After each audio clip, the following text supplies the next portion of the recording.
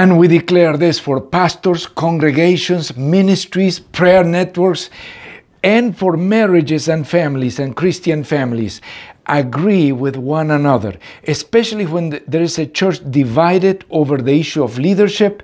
1 Corinthians 1:10 says, "I appeal to you brothers and sisters in the name of our Lord Jesus Christ that all of you, all of you agree with one another in what you say and that there will be no divisions among you, but that you will be perfectly united in mind and thought.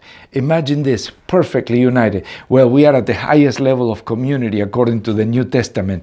We are right now an amazing community. This is a top level that we can teach as far as social Christian maturity in the Church of Jesus Christ. Will you be part of the movement of God for agreement, for having one mind in Christ? This unity will help us to embrace entire nations with the gospel of Jesus Christ.